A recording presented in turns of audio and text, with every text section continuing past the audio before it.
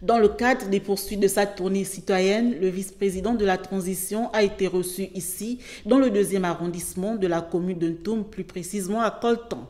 Dans un échange franc et constructif, les populations de cette localité ont tenu à faire part au vice-président de la transition l'ensemble des préoccupations qu'elle rencontre au quotidien. Votre présence, monsieur le vice-président de la transition, a pour nous, habitants du deuxième arrondissement, une très forte et haute portée symbolique.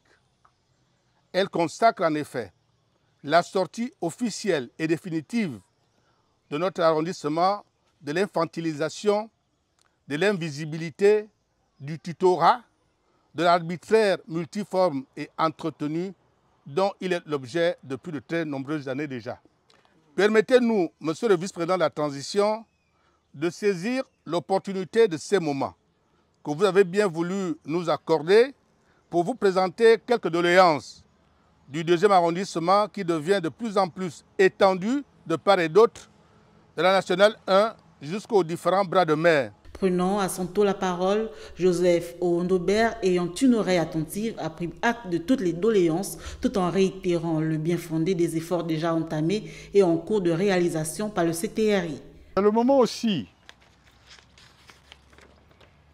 d'évoquer l'échéance cruciale à venir, dans le strict respect du calendrier établi au lendemain du coup de la libération, l'échéance du référendum sur la Constitution.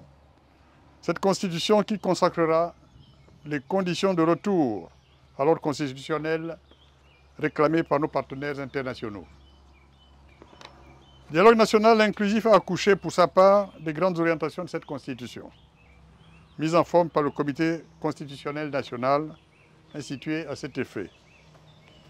Le Parlement a pris le relais afin de produire le texte final sur lequel le peuple gabonais sera appelé à se prononcer par référendum sous peu.